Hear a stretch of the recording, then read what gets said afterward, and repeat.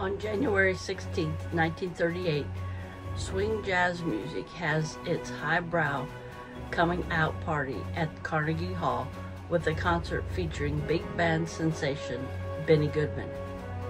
Today is January 16, 2024, and I would like to bring you this day in history. Jazz has been called America's classical music, a label that does more than just recognize its American origins. The label also makes the case that jazz is worthy of aesthetic consideration alongside music usually thought of as classical. In the current era, when programs of Duke Ellington and J.S. Bach often drawed some highbrow crowds, the argument hardly seemed controversial. In the 1930s, however, the notion was almost laughable, which is what made Benny Goodman's January 16, 1938 concert at Carnegie Hall at New York's famed Carnegie Hall so revolutionary. Goodman and his supporting cast claimed a new place for jazz on the American culture scene that night in what has become in what has come to be seen as the most important jazz concert in history. This concert wasn't technic technically the first jazz presentation at Carnegie Hall. In 1912, Harlem band leader James Reese Europe James Reese Europe and his Clef Club Orchestra made a historic debut with their concert of Negro music, which brought ragtime blues and an integrated audience to the famed hall to the famed concert hall for the first time. Benny Goodman, a white band leader popular for his swing dance repertoire, was the absolute height of his legendary career when his publicist first suggested they book Carnegie Hall. He was a star on the radio, on stage, and on film, and the label King of the Swing was already attached permanently to his name. So outlandish was the suggestion that a jazz band might play inside the citadel of American high culture, however, that Goodman said that Goodman is said to have laughed the idea off at first. Once he warned once he warmed up to the notion, however, Goodman threw himself into the task with characteristic passion. In addition to numbers from the regular repertoire of his own band, which included legendary Harry James on trumpet, Lionel Hampton on vibraphone, and Gene Krupa on drums.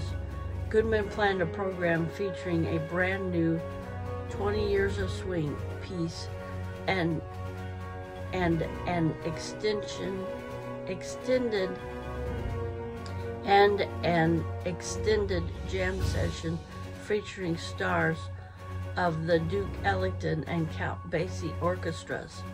The concert sold out weeks in advance, with the best seats fetching $2.75.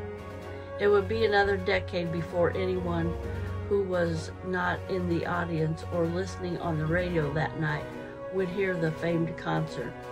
All recordings of the show were presumed presumed lost until Goodman's sister-in-law came across a set of acetates in 1950. By then the performance had already become the stuff of legends, particularly the stunning unplanned piano solo by Jess Stacy on Sing Sing Sing, the evening's final number. The album made from the recovered acetates becomes one of the first 33 and a third LPs to sell over a million copies. The eventual discovery of the aluminum stereo master recordings held to high quality CD reissued in 1998, 2002, and 2006 of the legendary Carnegie Hall Jazz Concert. Now I'd like to bring you yet another This Day in History. Faced with the faced with an army mutiny and violent demonstrations against his rule, Mohammad Reza Shah Pahlavi, the leader of Iran since 1941, is forced to flee the country. Fourteen days later, Ayatollah Ruhollah Khomeini, the spiritual leader of the Islamic Revolution, returned after 15 years of exile and took control of Iran.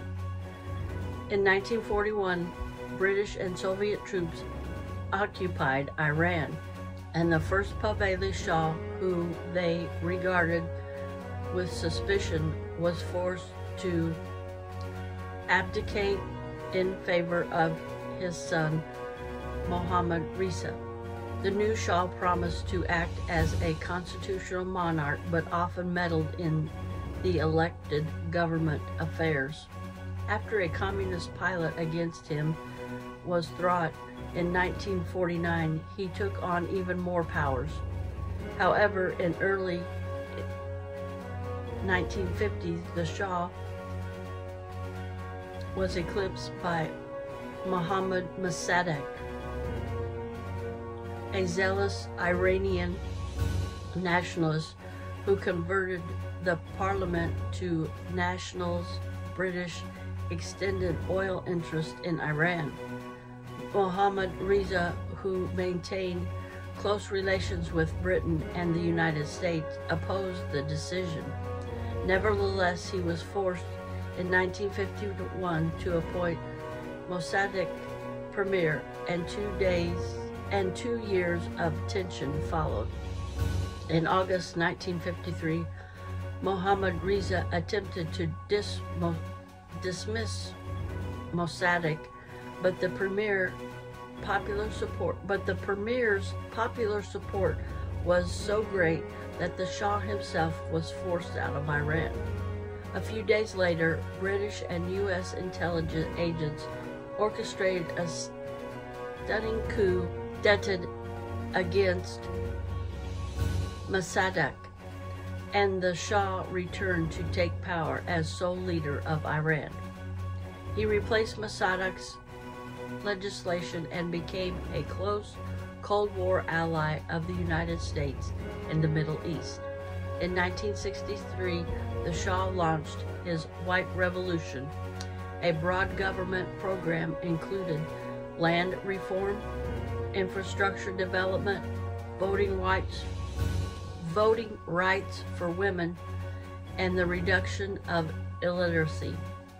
Although these programs were applauded by many in Iran, Islamic leaders were crucial of what they saw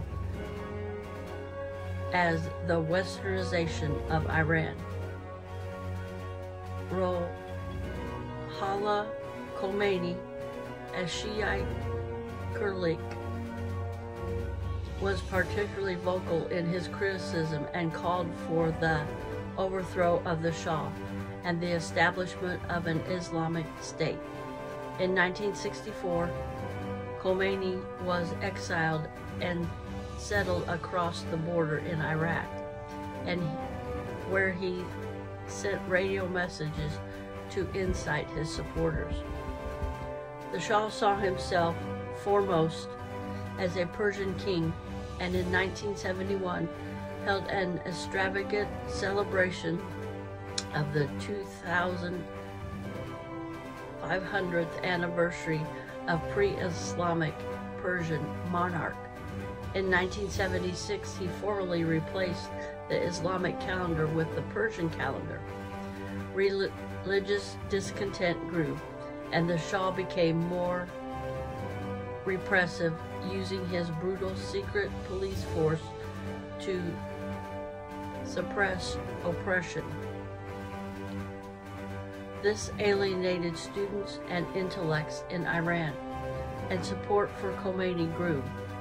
Discontent was also rampant in poor and middle class, who felt that the economic development of the White Revolution had only benefited the ruling elite. In 1978, anti-Shah demonstrations broke out in Iran's major cities. On September 8, 1978, the, Shah, the Shah's security force fired on large groups of demonstrators, killing hundreds and wounding thousands. Two months later, thousands took to the streets in Tehran, rioting and destroying symbols of westernization such as banks and liquor stores. Khomeini called for the Shah's immediate overthrow, and on December 11th, a group of soldiers mutinied and attacked the Shah's security office. With that, his regime collapsed and the Shah fled. The Shah traveled the Shah traveled to several countries before entering the United States in October 1979 for medical treatment of his cancer. In Tehran, Islamic militants responded on November 4th by storming the U.S. Embassy and taking staff hostage. With the approval of Khomeini, the militants demanded the return of the Shah to Iran to stand trial for his crimes.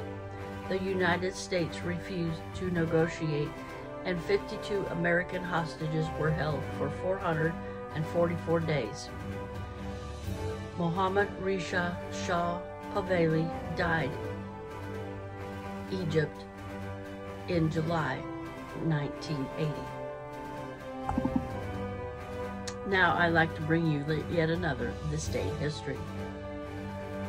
At midnight in Iraq, the United Nations deadline for Iraqi withdrawal from Kuwait expires, and the Pentagon prepares to commence offensive operations to forcibly eject Iraq from its five-month occupation of its oil-rich neighbor.